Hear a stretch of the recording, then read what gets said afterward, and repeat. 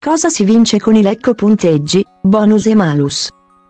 Sanremo 2023.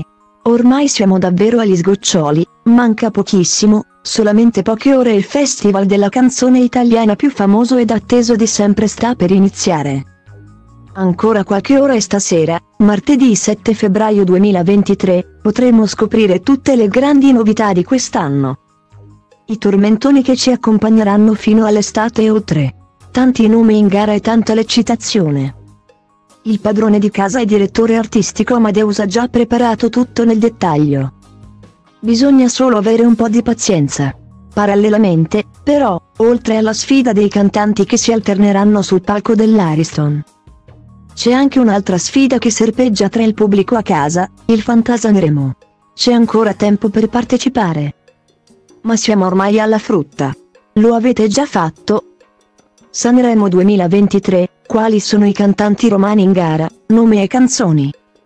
Per iscriversi al Fantasanremo 2023 è molto semplice, basta andare sul sito del Fantasanremo e registrarsi in modo completamente gratuito, poi bisogna creare una squadra. Fate attenzione però. Se create la squadra senza prima scegliere la lega, allora parteciperete solamente alla classifica generale. Dunque, per fare le cose per bene, bisogna dapprima ercare una lega, entrarvi e poi creare una squadra. Ogni giocatore, a quel punto, può, può allestire un totale di 5 squadre, le quali possono essere distribuite anche su 5 leghe differenti. Ogni lega è un campionato, privato o pubblico. Ogni allenatore, poi, per creare la propria squadra, ha a disposizione 100 baudi. La moneta virtuale del Fantasanremo. Con tale cifra simbolica di dovranno ingaggiare 5 partecipanti al Festival di Sanremo 2023. Ovviamente è necessario ponderare bene gli acquisti in modo da costituire una squadra equilibrata e con buone possibilità di vittoria.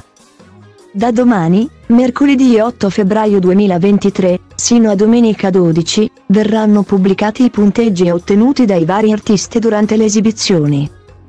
E ora, veniamo alla nostra domanda, cosa si vince al Fantasanremo? La cosa più importante di tutte, la gloria eterna.